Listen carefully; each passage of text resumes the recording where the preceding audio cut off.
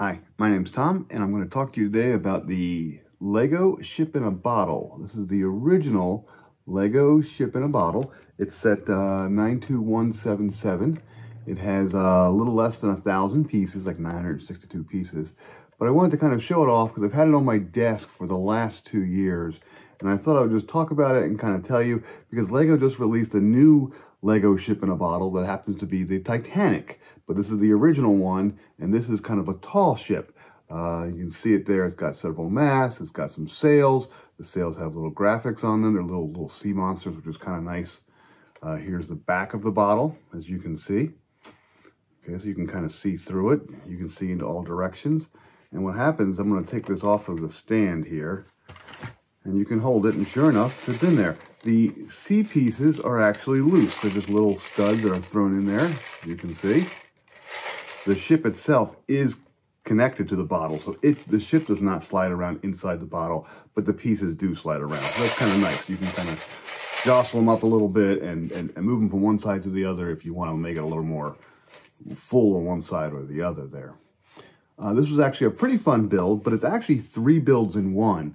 The, the first thing you actually build is the ship itself, and the ship is remarkably detailed. I didn't think it was going to be that detailed, but it's got little gun ports on each side.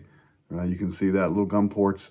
It has the actual sails. It has a, it has the real kind of shipping. Has kind of a little hull, a little keel underneath and the hull. It's a little more detailed than you'd think. The deck is different multicolors, so that was actually kind of surprising. Uh, after you build that, then you start building the actual bottle and you kind of build a bottle like a like a tube. You build this part for first, you put the ship in, connect it, and then you build the, the rest of the bottle, just like that. And the bottle even has like a little cork in it and a little wax seal as well, which is really kind of cool. It looks great. This is not a play set, this is a display set, and it looks great. And then, after you build that, you actually build the uh, stand for. It. And the stand is just as cool. Mine's a little dusty right now because it's been sitting on my desk. Uh, but it's got two little globes. They spin, which is kind of nice. It does say Leviathan on the front.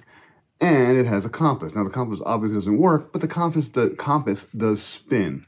So you can kind of point it in whatever direction you want. So it looks really, really nice. And again, when the whole thing is sitting on here like that, you don't see the compass that much, but it's there. It does say Leviathan. It's a nice looking set. A couple quick criticisms of the set. Uh, as other people have said, it's fiddly. It's a little bit uh, fragile. Uh, mine's covered with dust right now. It's tricky to dust because you have a lot of little pieces. And honestly, this bottle is, while it's nice, the stand is, is perfectly fine. The bottle is nice, but the bottle is really only held together with a couple studs around the rings here.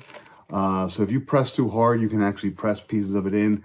Uh, I have cats which often snap this off. This is only a couple studs in the middle, and this little column often comes off. It's, uh, again, it's a little fiddly. It's a little uh, fragile.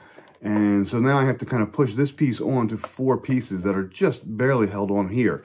So the whole thing is a little bit fragile and a little bit fiddly. And there we go, I got it. Okay, put it back down.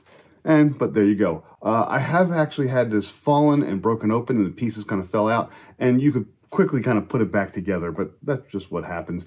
If it does break open, you will get a bunch of little studs falling all over the floor as well. Again, just pick them up and go.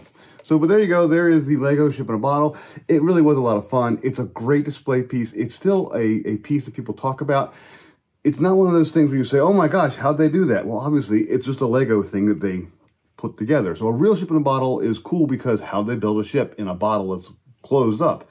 This is not as cool. You know how you did it. You just build the bottle around it. Very simple. Uh, but it still looks great. It's a wonderful little display piece. It's a unique piece. Uh, I would strongly recommend this set for anyone uh, who likes pirates or Legos or old ships or sailing, any of those things. It's a very unique set. It's an eye-catching set. It's something that makes you say, wow, when it sits on a shelf. Uh, a lot of people have commented like, oh, that's really cool. Whoa, where'd you get that? So this is the one piece in my office that people usually gravitate towards and start talking about or grabbing. Hey, can I touch it? Can I look at it? It's like, sure.